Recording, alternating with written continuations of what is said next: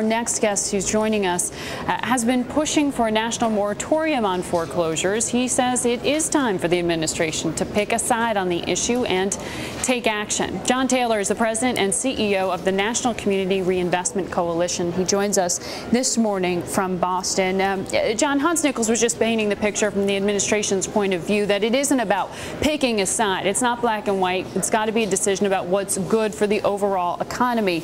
Given that we have heard that uh, B of A intends to reopen the foreclosure process on over 100,000 different cases.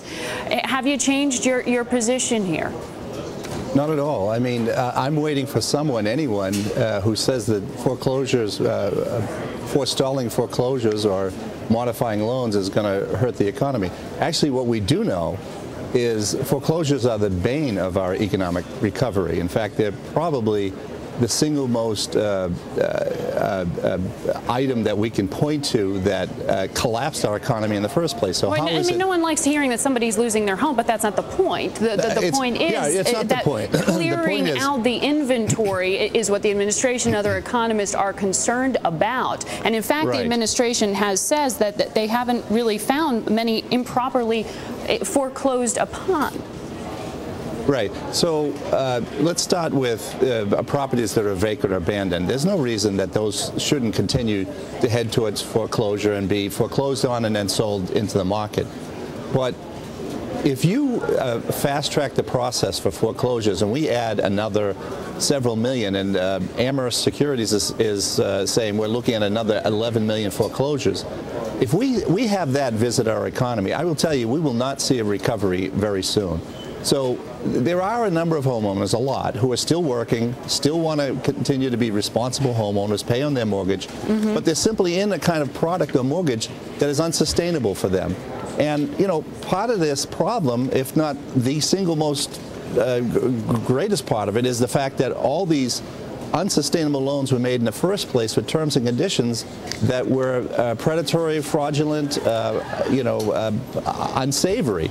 And so we're, we're, sort of overlooking that, and now that the people are in underwater and their, their loan interest terms have changed, their interest rates have gone up, uh, uh, terms and conditions have changed such that their income doesn't support the current mortgage they're in. Right. The most sensible thing to do is get those things modified and refinanced so as many homeowners as possible who are responsible can stay in their home. So you would be fine with a refinancing program, not a moratorium on foreclosures?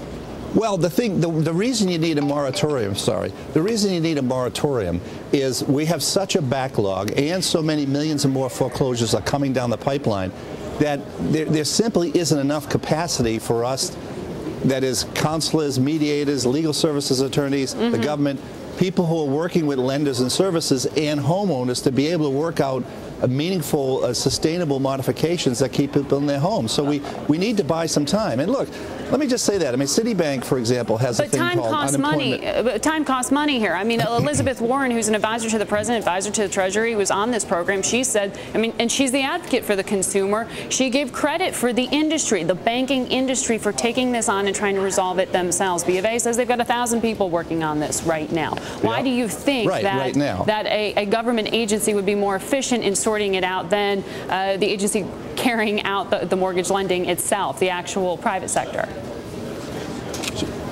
I'm sorry, she thinks a government agency would be more proficient No, I'm asking out... you why you think that. Why you think there should be oh, a no, national I, moratorium.